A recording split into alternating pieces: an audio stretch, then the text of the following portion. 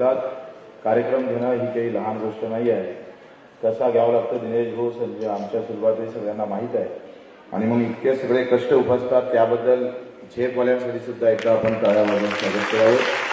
आमच्या सुरुवाती कोळके इथे उपस्थित आहे दिनेशजी भूब आमचे महापौरजी उपमहापौरजी सर्व प्रमुख आमचे नगरसेवक मंडळी आमचे कासटजी ज्यांचा परिचय मला पंचवीस चाळीस वर्षापासूनच्या पूर्वीचा आहे. मात्र सायकल वाटतानाच भेटलं होतं आता वीस वर्षानंतर सुद्धा सायकल वाटतानाच आपली भेट होते. म्हणजे चांगला संदेश आहे चांगली वेळ आहे. नवीन वर्ष जरी असलं तर दुःख मात्र तेच असतं. आणि वर्षात मास वर्षामागून वर्ष गेली तरी दुःख संपत नाही. संपवणारच खऱ्या अर्थानं आम्हाला पाहिजे आहे. आणि मग जो संपत असेल त्याच्यासाठी ते नवीन वर्ष असते. आकडे बदलतात तारखा बदलते. महिने बदलतात वर्षाचे वर्ष बदल जातात पण दुःख ते राहतं. नवीन वर्ष आमच्यासाठी हेच आहे का आमच्या दुःखात कोणी सुखाचा वाटा घेऊन तो आमच्यासाठी नवीन वर्ष असतं. आणि मी अपंग बांधवाबद्दल दिव्यांग बांधवाबद्दल गेल्या चार पाच वर्षात जेवढं काम करता येईल तेवढं केलं. आणि बत्तीस शासन निर्णय मी अपंग बांधवासाठी काढता आले. जो तीन टक्के हा निधी एकोणीसशे पंच्याण्णवच्या कायद्यानुसार आशिया खंडानं हा कायदा केला होता आणि एकोणीसशे पंच्याण्णवमध्ये तो कायदा केला.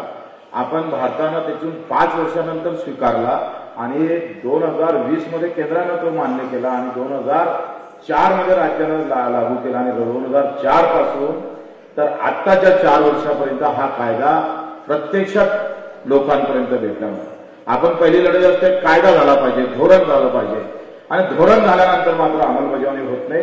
त्याच्यासाठी माझ्यावर किमान दोनशे तीनशे गुन्हे दाखल झाले. आणि या- ही लढाई आम्ही कायम ठेवली. आज पुऱ्या हिंदुस्थानामध्ये जर पाच टक्के खर्च करणारं सर्वात मोठं राज्य कोणतं असेल तर ते महाराष्ट्र राज्य आहे.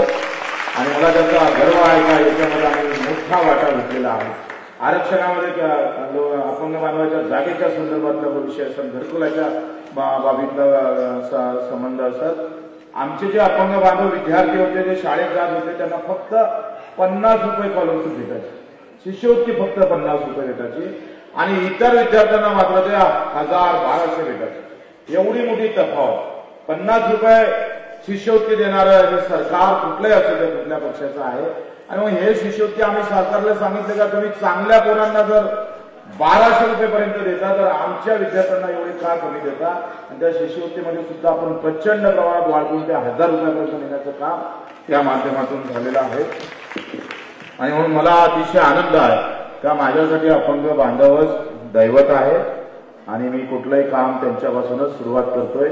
योगायोगानं काही असो काल शपथ घेतली. आज पुन्हा या चांगल्या कार्यक्रमाला मला येता आलं हे माझं भाग्य समजतो. झेपवाल्यांना सुद्धा अतिशय त्यांना शुभेच्छा देतो का आमची सगळी शक्ती आमचं सर्व जे काय सत्ता असेल सत्तेचे केंद्र असेल जे काही असेल ते निश्चितच माझ्या अपंग बांधवाच्या शेवटच्या बांधवापर्यंत नेण्याचा आम्ही पूर्ण प्रयत्न केल्याशिवाय राहणार नाही.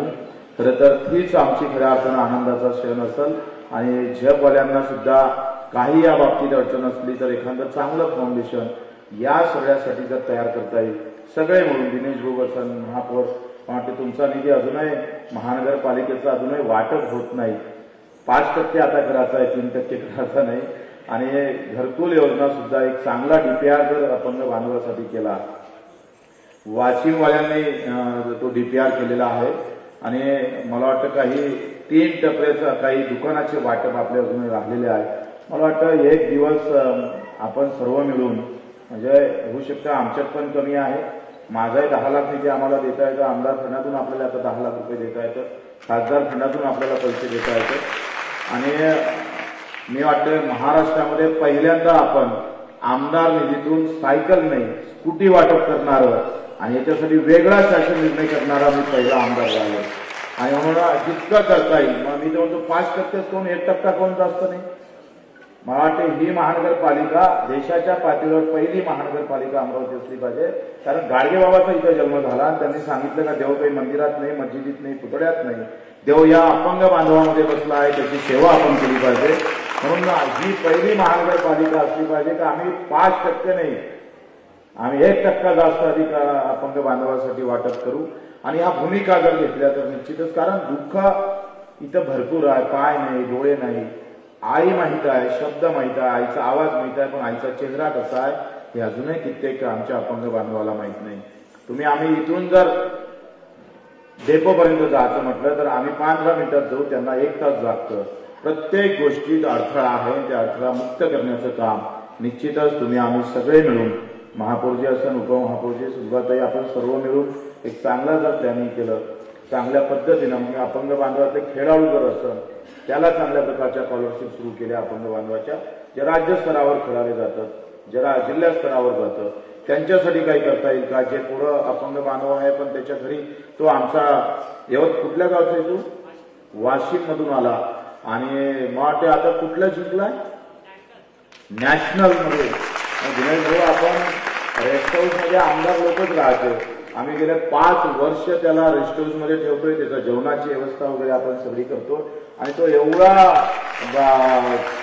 मजबूत आहे का त्यांना आता नॅशनल मला वाटतं आपण एक त्याच्यासाठी निधी देता आला महापुरा निधीतून. काही करता आलं तर त्याला अतिशय मजबूत आहे. पहिले आला होता तर तो एवढा म्हणजे हलका होता. आता बिलकुल वजनामागं वजन म्हणजे मलाही उचलून ठेवायची क्षमता त्याच्यात आहे. आणि अतिशय त्यानं त्याचं सोनं केलं. म्हणजे पाय नाही म्हणून थांबला नाही. हात आहे ना त्या हाताला आम्ही भाऊबली केल्याशिवाय राहणार नाही. अशा पद्धतीनं मला वाटतं अतिशय चांगलं काम केलं आहे मजबूत काम केलेलं आहे. आणि वाशिम मधून तो अमरावतीच्या सहाऱ्यानं आला. म्हणजे आपलं भाग्य आहे.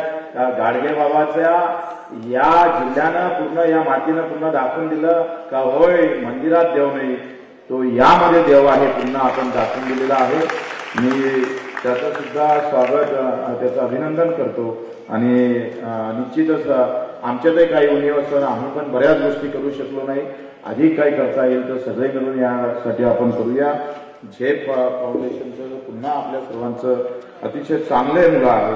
खरं तर एकतीस डिसेंबर काही जण तर अजून उठलेच नसत. कारण काल बंफर मारले असून काही लोक.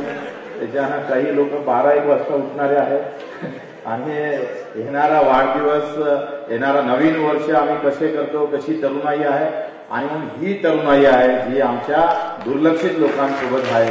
म्हणून त्यांचा पुनश्च आभार मानतो आणि हे दोन शब्द संपवतो. जय हिंद जय महाराज